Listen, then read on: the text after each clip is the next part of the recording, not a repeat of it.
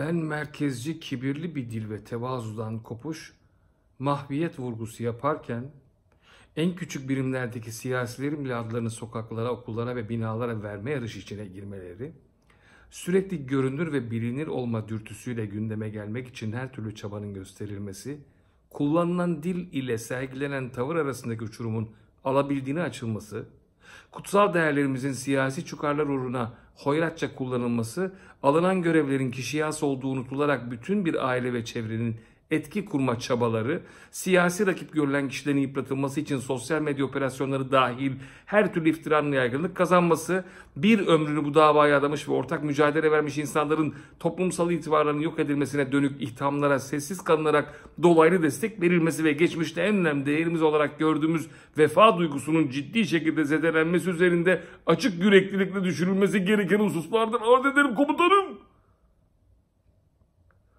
Sayın Davutoğlu'nun açıklamasından bir bölüm okudum ha. Yemin ediyorum hiçbir tarafını ellemedim tek cümledir bu. Yaşar Kemal'den sonra gördüğüm en uzun cümle kuran adam.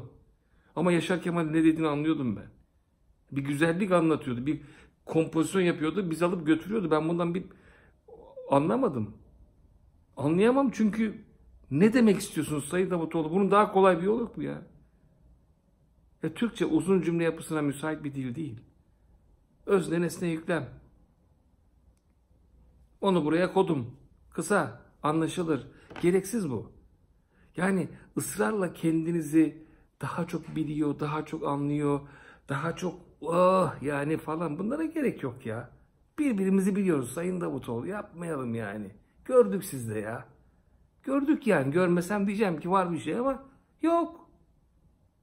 E, Türkiye gerçeği falan o derin analiz, derin yani onu da okuduk babacığım be. Yapma zorlama yani. Şimdiye kadar neredeydin? Niye şimdi çıktın ortaya? Bu ne?